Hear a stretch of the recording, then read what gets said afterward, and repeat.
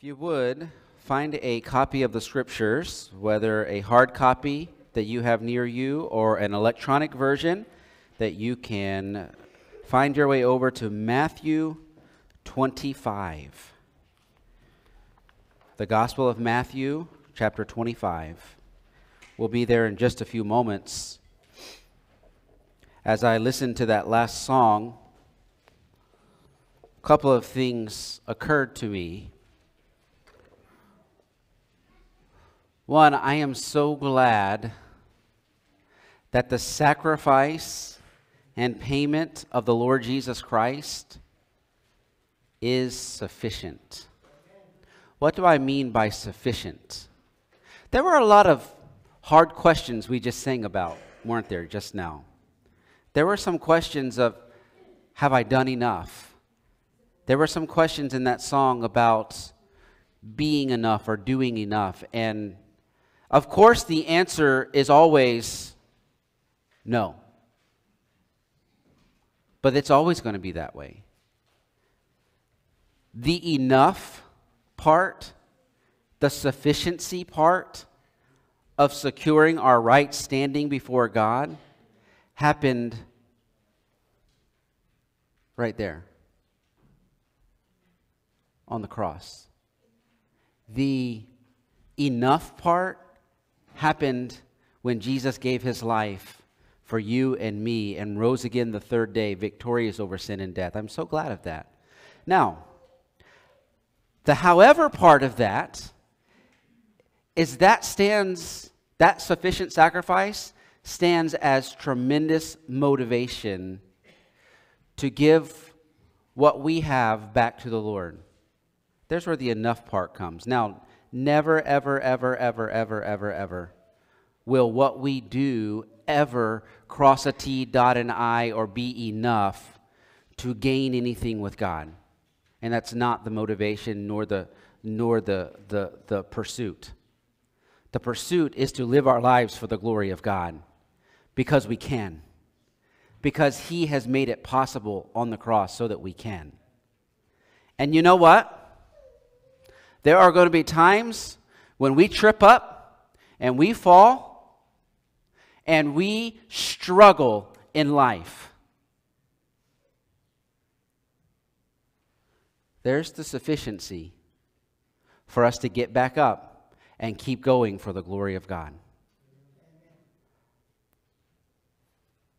That really kind of leads in also to the series that we've been looking at over the past few weeks, and that is we've got issues, but God's got solutions.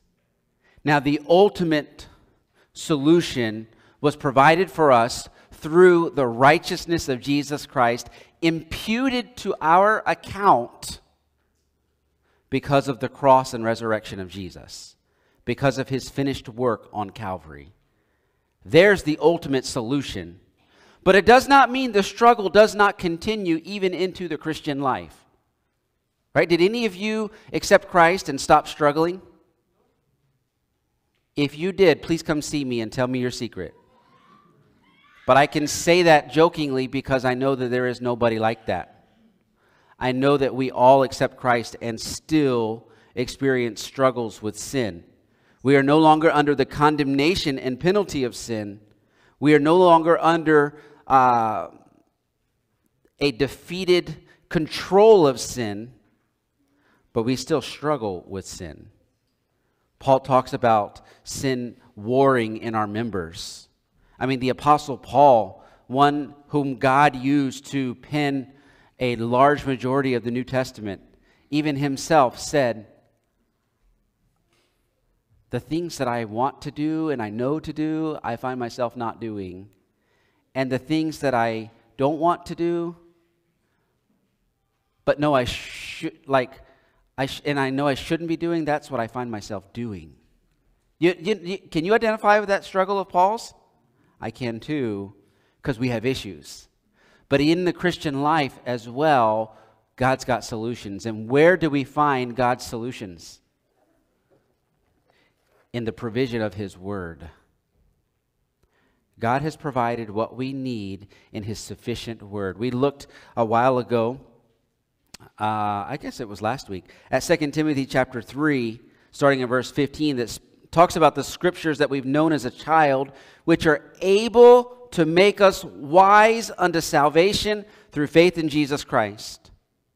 All scripture is given by inspiration of God and is profitable for doctrine, for reproof, for correction, for instruction in righteousness, that the man of God may be perfect, truly furnished unto all good works. And we said this last time that God's word is able to confront our issues. It's valuable for our struggle with issues, and obedience to Scripture results in victory over our issues. And I want to say this the sufficiency for our issues of life is the sufficiency of God's Word. This is the provision for the issues of life. God's got solutions. We started off talking about anxiety and worry in Matthew 6. Then we went to anger management done God's way. We used uh, some, we, we looked at some of the teaching from Ephesians 4. Today, we're going to look at breaking the pattern of procrastination. And we're going to go to Matthew 25 in just a moment. The content for this series is from a series of booklets by Phil Moser on biblical strategies for the issues of life. And the, the one that I'm using today is called Taking Back Time Biblical Strategies for Overcoming Procrastination. These are little, very easy to read uh, resources. If you're interested, let us know, or we can send you a link and you can order them yourselves. They're fairly inexpensive but super helpful resources, and that's where the content for today's uh, teaching is coming from. So let me ask you this. When I just announced the title, Breaking the Patterns of Procrastination, I wonder if immediately in your mind you said, huh, I don't really procrastinate. I'm a pretty diligent person, so this is not for me. Or if in your mind you thought to yourself, oh no, I was hoping to put this one off till a later time. No. Um, I think you're going to see as we examine Scripture today that we all deal with procrastination in one way or another, in such a way that has become an issue in our lives. And at best, is not God's best in His design for our Christian life. And He's got solutions in His Word to provide that renewal of thinking so that we don't go down a road that is not God's best for us. So, I guess what we need to do, first of all, is define procrastination. And I'll start very generally with a dictionary.com definition. Procrastination, according to dictionary.com, is putting off or delaying, especially something requiring immediate attention. I think we all kind of had an idea of what the definition of procrastination was it's, it's putting off, it's delaying. Most thoughts and discussions about procrastination address one's misuse of time or some need for better time management. But let me ask you this is time management really the final core issue of procrastination? I would say this way a healthy approach to God's way of managing time must dig deeper to get to the root of why we misuse time and why that's even an issue in life. And that's why we need to go to Scripture. The scripture that Hebrews 4 tells us is able powerfully to get in there to the thoughts and intents of the heart, to get in there and find out what is at the core, what is at the root of the issues of life. And so we'd have to ask this question Does God's word make an issue out of procrastination for God's people? And the answer would be absolutely. The writer of this series that I'm using, Phil Moser, says this The unwise steward is fearful, the overconfident optimist is prideful, and the poor planner is lazy. While each may differ in their motivation, they bring the same result. Put off till tomorrow what could be done today. That's procrastination. So let me ask it this way Does Scripture address the hard issues of fear, pride, and laziness? You better believe it. Similar to our study on anger, the, format, the format of what we're going to look at today starts with God's perspective on procrastination. Then we'll go to God's example of victory over procrastination's, uh, uh, procrastination's temptations. And then we'll end our time today, Lord willing, with God's spirit empowered habit replacement for the issues of procrastination. Let's pray, and I want to go through each one of those sections. Father, thank you for the privilege and honor of being able to stand before you today to preach and teach your word. Thank you for the privilege and honor for all of us to sit under the teaching of your word. For it is your word that is sufficient for the issues of life. And we all readily admit that we have issues in life. Lord, I pray that today you would help us to break some of those habits within the issues of life in such a way that honors you and is, is in line with your sufficient word. Help us with this content today to walk away continuing down the path of more and more Christ likeness in our sanctification. We pray this in Jesus' name. For his sake, amen. Notice God's perspective on procrastination. What does God show us about procrastination in his word? And we are going to take a look at a parable. You know what a parable is, right? A parable is often a story. They've, it's been said that a parable is a, a, an earthly story with a heavenly meaning, and that's a very, very broad way to approach a parable. But um, by and large, Jesus is the one who is, is seen teaching with parables in Scripture, and this is one of them. And I want to read for it and see if you can pick out what we might start to um, dissect a little bit about this issue of procrastination. So we're in Matthew 25, starting in verse 14. Jesus says, For the kingdom of heaven is as a man traveling into a far country, who called his own servants and delivered unto them his goods. And unto one he gave five talents, to another, two, and to another, one, to every man according to his several ability, and straightway took his journey. Then he that had received the five talents went and traded with the same, and made them other five talents. And likewise, he that had received two, he also gained other two. But he that had received one went and digged in the earth and hid his Lord's money. After a long time, the Lord of those servants cometh and reckoneth with them. And so he that had five talents had received five talents, came and brought other five talents, saying, Lord, thou deliverest unto me five talents. Behold, I have gained beside them five talents more. His Lord said unto him, Well done, thou good and faithful servant. Thou hast been faithful over a few things. I will make thee ruler over many things. Enter thou into the joy of thy Lord. He also that had received two talents came and said, Lord, thou deliverest unto me two talents. Behold, I have gained two other talents beside them.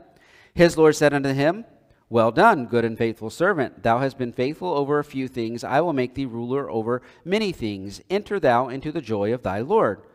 When he which had received the one talent came and said, Lord, I knew thee, that thou art a, an hard man, reaping where thou hast not sown, and gathering where thou hast not strawed. And I was afraid, and went and hid thy talent in the earth. Lo, there thou hast that is thine.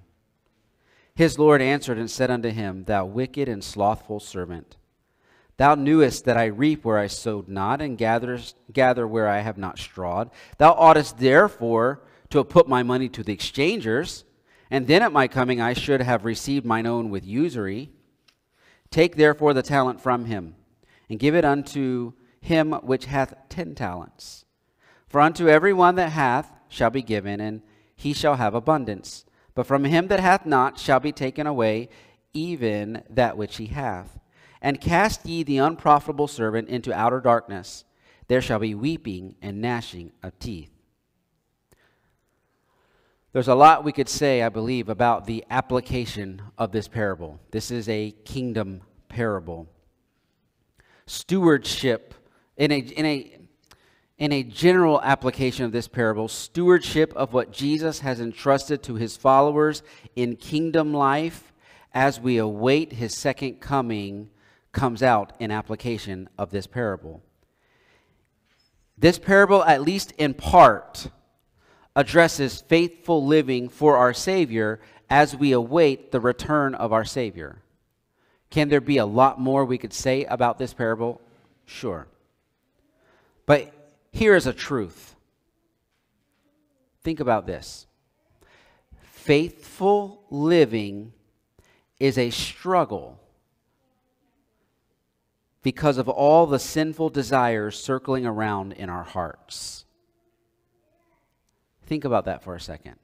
Faithful living. So, faithfully stewarding the resources, opportunities, and life that God has entrusted to you and me as followers of Christ is a struggle because of the sinful desires circling around in our hearts. I think James 1 would, I think it's James 1, 14 through 16, would speak into that, speaking of the, the evil desires and lusts in our hearts that ultimately conceive and bring forth sin and death. But here's another truth Jesus has saved us and empowered us to something much better than just resting in sinful, desire based living. You know that, right? Jesus has delivered us from the power of sin. He has saved us to something better than just wallowing in sinful, desire based living. He has called and empowered us to faithful service to Him, including how we use the time and resources He has entrusted to us for His purposes. In this parable, the Master representing our Lord Jesus Christ, goes away and entrusts hundreds of thousands to millions of dollars, the equivalent, if we were to parse out what those talents were. He has entrusted ha- like half million dollars to millions of dollars to these three uh, stewards. And he returns sometime later, expecting to see that they wisely invested or used his resources. One of them was given five talents, several millions of dollars. It was, he invested it, doubled the money. One was given two talents, still uh, some millions of dollars equivalency, invested, double the money. One was given one talent. Uh, it is believed to be somewhere in the equivalency of a, just over half million dollars or so. Buried that money and returned it to the master uninvested, unchanged. The first two were commended and rewarded, and the third was reprimanded and condemned. The master actually, in this story, calls him wicked and slothful and affirms that the actions of the third servant revealed, contrary to what he said, revealed that he failed to recognize who the master really was. He failed to recognize the true character and expectations of the master. Ultimately, it seems that this third servant represents someone who was not really a believer and thus naturally wasted the master's resources of grace. What I'd like to do, though, with this story today is simply highlight the temptations to procrastinate as are illustrated in this story. If you take a look at verses 24 and 25. In the story, this one steward, this third one, said, Lord, I knew thee that thou art an hard man, reaping where thou hast not sown, and gathering where thou hast not strawed. And I was afraid, and went and hid thy talent in the earth. Lo, there thou hast thy that is thine. I want to highlight one phrase. You might underline it if you're in the habit of marking in your Bible, the that is the phrase, I was afraid. We're talking about fear. Fear was the source of his procrastination. This is not the only occurrence of fear based procrastination in Scripture. You remember Adam and Eve way back in Genesis? When Adam and Eve hid, instead of looking to God for a solution, Adam says in Genesis chapter 3, I was afraid. Jacob, in I believe it's Genesis 31, when he ran from his father in law in the night, instead of seeking a solution, he responds with, I was afraid. You know, fear can be paralyzing. Fear can cause us to put off what should be rightly and faithfully done in God's provision now. Sometimes this fear comes as a result of a sense of inadequacy. When the responsibility or task before us seems too big to tackle, Procrastination is often our choice because we trust our own adequacy and quickly find that it does not measure up to the enormity of the task. In other words, what the right thing is to do seems bigger than what we are able to do, and we feel very inadequate. The lazy steward got scared when he realized he could not measure up to his master's expectations, so he did nothing. Now, I think we'd all agree that fear is a very real root of procrastination. I, I, think we, we see that. Contemporary wisdom would counsel this person to just believe in yourself and you can be or do anything. You can get over this, just believe in yourself. Do you know what that kind of counsel does? That kind of counsel does nothing but set a person up for more and more disappointment. Because you see, when we look to our own adequacy, we quickly find that we do not measure up. We are weak. We are, we are um, small and powerless compared to many of the tasks that are before us. I think that's why we have encouragement in passages like uh, Proverbs chapter 3, Proverbs 3, starting at verse 5, says, Trust in your own heart to get it done, and you'll bring it to pass. Is that what Proverbs 3 says? No. Proverbs 3, starting in verse 5, says, Trust in the Lord with all thine heart. I am sorry. And lean not to thine own understanding. In all thy ways acknowledge him, and he shall direct thy paths. There's great encouragement and even combat there for feelings of adequacy when they're not warranted. Gideon knew that the battle belonged to the Lord in Judges 7. David knew that the giant Goliath's insults and ultimate beef was with the Lord and that God would have to give the victory in 1 Samuel 17. In our parable, the master gave resources to the stewards according to their abilities. He knew what they could do and what they uh, could not do, and he knew what he was doing. But the procrastinating steward could not see past his own perception of himself. And thus, what did he do? He froze. Well, I don't know if I should do this. I don't know if I should do that. So I'll just, I'll just protect it. I'll just put it away. Obviously, we don't need a greater, more trusting view of self. We need a faith filled view of our big, powerful, wise, and loving God. Sometimes our procrastination stems from fear that is based on our sense of inadequacy. But sometimes procrastination grows from a memory of past failures. The lie that can creep into our thinking is this you failed before, and you'll only fail again. We all have past failures and disappointments, don't we? I think if I were to come around to each one of you and have a personal conversation, I think every single one of us could talk about past failures and personal disappointments. Can I lovingly encourage you in this way? The Savior who died and rose again for your sins did so for your sins in the past, did so for your sins in the present, and sufficiently did so for your sins in the future. Let me read to you 1 John chapter 4 verse 18. 1 John 4:18 says there is no fear in love but perfect love casteth out fear.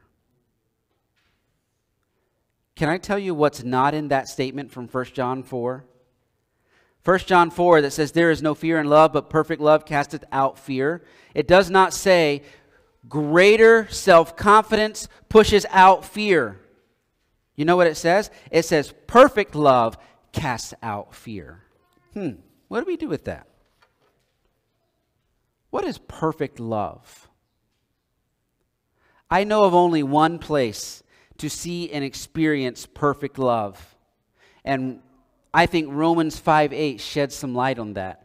Romans 5 8 says, But God commendeth or shows his love toward us in that while we were yet sinners, Christ died for us. You know where perfect love that casts out fear is found?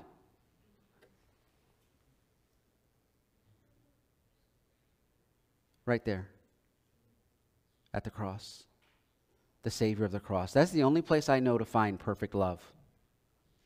A perfect demonstration of love is when God commended his love toward us in that while we were yet sinners, Christ died for us. Moser says often because of past failures, a person is afraid to try. They aren't motivated by perfect love, they're motivated by their own perfection. Again, our prospect of victory is not, should not ever be based on our own ability, but on the perfect sacrifice and power of our Savior.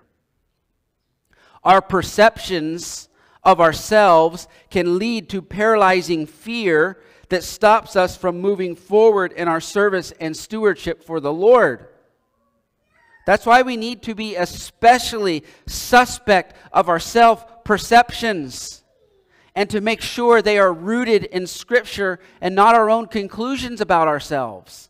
Oftentimes, we walk around with and approach situations with this puffed up view of ourselves. And let me tell you, you're setting yourselves up for great, great disappointment because it is not ourselves that deserves our sense of worth and our sense of ability. It is the perfect love of our Savior. 1 John 4:18 does not say your sense of being able to get things done is what casts out fear. No, perfect love casts out fear. And I don't know about you, but in fact, actually, I do know about you because I know about me. Scripture teaches me that there is no perfection in me, in and of myself. There is no sense of perfect ability in and of myself. That perfect love is only given to us through Jesus Christ, his sacrifice for us on, on our behalf. Perfect love casts out fear. I think we need to be very, very careful of walking forward in this confidence of, I've got it figured out. In our relationships, in our abilities, in our approach to life, we often walk around with this false sense of confidence. We need to be especially suspect of our self perceptions and make sure they are rooted in Scripture and not our own conclusions. That's why simple time management adjustment will likely not correct our procrastination because tackling the unbiblical fear at the heart level is the greater need. There is unbiblical fear circling around in the desires of our heart.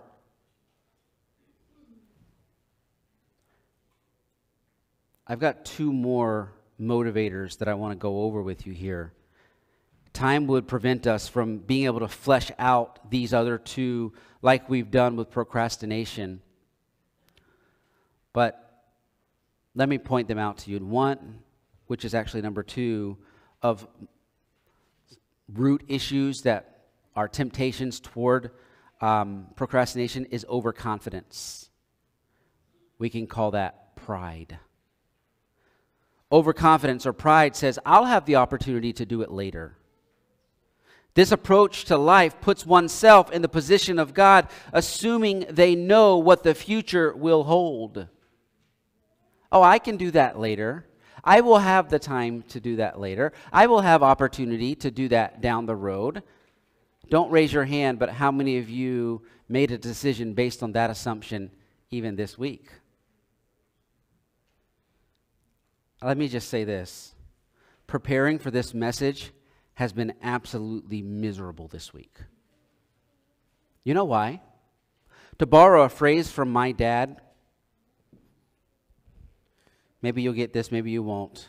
I get it because I heard it all the time. But he would often say, when something is greatly affected by something, he said, Man, like let's just say someone had a, a bad disease, right?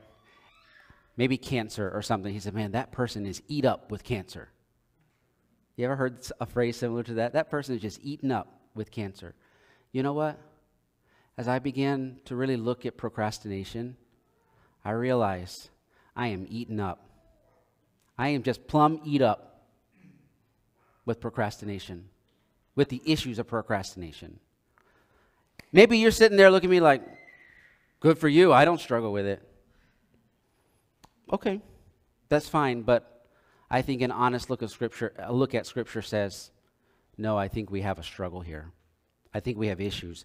James chapter 4 addresses this overconfidence and pride. It says in verse 13 of James 4 Go to now, ye that say, Today or tomorrow we will go into such a city and continue there a year and buy and sell and get gain.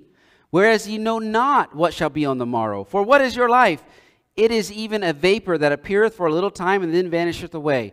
For that ye ought to say, If the Lord will, we shall live and do this or that. Oftentimes, we assume the place of God when we say, Oh, I'll just do that later. What we're doing is in, in the overconfidence of our heart saying, I got this. I'll have time to do it later. The key to remember is this that we are not our own, that we're certainly not in control of our own time and our destiny, and we'd do far better to submissively conform our use of time and resources to what God has laid out in His Word, not on how we feel in the moment. Again, I don't know about you, but my feelings in the moment often cause me to put off till later what I could do now, what I should do now in honoring God with my use of time. I don't know. Is this resonating with you at all, or is it just me? The other root I think we could find at the core of, of procrastination is laziness that says either I don't feel like it, thus I'll do it later, or I don't want to do the harder task. So I'll busy myself with something else that needs to be done. This is the second issue laziness. And laziness sometimes surfaces in a way that we least expect it. Sometimes someone who is considered a very, very hard worker at the core is very lazy. You said, that doesn't make any sense, Pastor. Let me read for you what Moser says. Moser says, we're all prone to laziness. It just may be hiding where we least expect it. The hardworking employee may struggle to put in that same effort with his family. Perhaps a dad procrastinates on the hard work of developing a relationship around his son's interests until it's too late. Or a wife may give hours to developing ministry opportunities with other women, but might find conversations with her husband to be difficult and burdensome. Pride tells us we're working hard, when in truth we may only be working hard at the things that come easy to us or that we enjoy. So, could it be under the guise of hard work ethic, we're actually putting off the hard things in place of the easy things? Just because we work hard doesn't mean we're working faithfully. Does that make sense? Proverbs chapter 6, starting in verse 6, says, Go to the ant, thou sluggard, consider her ways, and be wise, which, having no guide, overseer, or ruler, provideth her meat in, in the summer, and gathereth her food in the harvest. How long wilt thou sleep, O sluggard? When wilt thou arise out of thy sleep? Yet a little sleep, a little slumber, a little folding of the hands to sleep so shall thy poverty come as one that travaileth in and thy want as one as an armed man yes a strong work ethic is a good thing but planning ahead to do even the hard thing in that work ethic is a part of that diligence and faithfulness for the lord. It's stewardship of god's resources all of them not just the ones we find easy to do. There's four perspective reminders here for God's stewards. Number one, the procrastinator must remember that God is sovereign over time, but he is not. A perspective corrector is to realize the only one that can assume tomorrow is God. He is sovereign over our time, and we need to remember that we, as procrastinators, are not. Number two, the procrastinator must see time as an opportunity to prepare for the future, not simply to enjoy today's pleasures. The procrastinator must see time as an opportunity to prepare for the future, not simply to enjoy, indulge in today's pleasures. Number three, the procrastinator must develop a useful plan for whatever time remains. The procrastinator must develop a useful time, a plan for whatever time remains. And number four, the procrastinator must understand that there are unavoidable consequences if he doesn't prepare in advance. There are unavoidable consequences for not preparing in advance. And I think you could go back to that passage in Proverbs about the ant and find these principles. I would hope that you would let perspectives like that, grabbing a hold of God's perspective of procrastination, to drive you to a repentant but faith filled approach to stewarding the resources God has given you.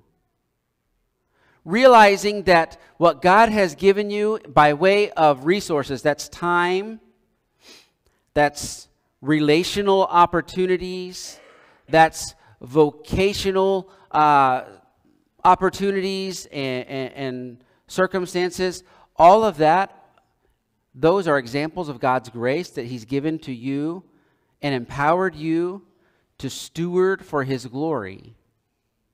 So it, it's very likely that all of us would be in need today of a repentant spirit about that. Like, Lord, yes, yes, I have blown this. I have blown opportunities to be a steward for your glory. But then to say, Thank you for giving me the opportunity to be faithful. Thank you for giving me the opportunity in Christ to know that my position before you is not affected by my performance. It was secured by Jesus' performance. And Lord, would you help me then, because of that, to spring forward in faithfulness for you?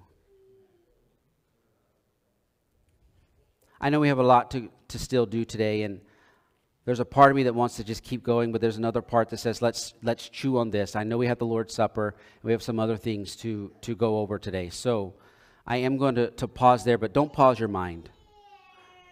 Don't pause your mind here. How many of you, interact with me for just a second. How many of you would say, Pastor, as I'm thinking about whether it's fear, whether it's pride and over, overconfidence, or whether it's laziness, I'm identifying at least one area where I've got an issue with procrastination. How many would just honestly say, yeah? Yeah, I, I'd say there's likely not very many of us that would not be able to admit that in, in all reality. I am so glad that Jesus died for my fear. I'm so glad he died for my sinful interaction with pride. I'm so glad that Jesus died for my sinful interaction with laziness. Aren't you? I think that's the comfort we all need to rest in today. So there, there's a, there, there is a rejoicing in the rescue of Jesus from these issues. But I think there is a repentant response of, Lord, would you help me then for your glory this week to step off of that because you've given me the victory already to live the way you've designed me to live, all for your glory, for the sake of showing Christ both to myself and to those around me. Would you, would you agree there's a motivation there to live for the Lord based on what He's already done for us? Please be careful. Don't walk away thinking, oh, I'm going to live that way so that I can get from the Lord, so that I can be right with the Lord. No, you, the be right and the get happened at the cross. But the desire to follow the Lord in love and worship and to live out His best for His glory, all of that comes because of the cross, too. And we have the, we have the opportunity to be faithful because of the Jesus of the cross. Amen?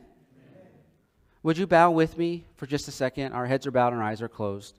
I'm not going to ask you to raise a hand or anything like that right now, but I wonder how many of you would just internally respond to the Lord and say, Lord, I, I'm eat up. I am just plumb eat up with procrastination in one way or another. Lord, I, I, struggle with this, and you know that, Lord. But Father, I know that when I take the yoke of Jesus upon myself, I realize it's not on my shoulders. It's what Jesus has already done and continues to do for me. And Lord, this week, I want to rest in who I am in Christ and let that motivate me to live for the glory of Christ even in how I use the resources you've entrusted to me. Would you take a moment and just respond to the Lord in your own heart about that?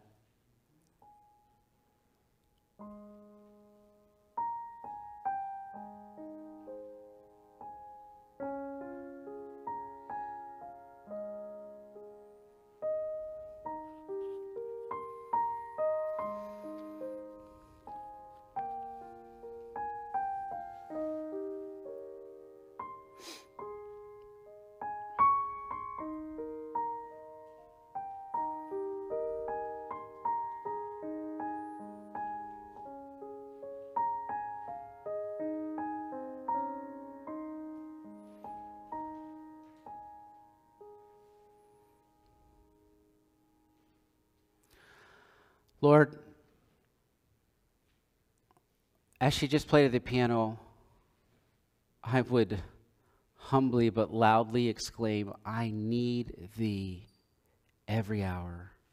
Oh, every hour I need thee. Lord, my problem is I often feel confident in my own abilities. Lord, I pray this week that both myself, as having preached and studied this passage, and all of us who are listening to and learning from this passage and this, these truths, that you would help us this week to not wallow in the pit of self pity, but to joyfully rejoice in the provision of Jesus Christ to live the way you've designed us to live. For it's not in our merit or ability in any shape or form, but all because of you. We get to do what you've called us to do because you provided the means to do that through the provision and righteousness of Jesus. Help us to repent, rejoice, and rest living a life of faithfulness with the resources you've entrusted to us this coming week. We pray this in the name of Jesus. Amen.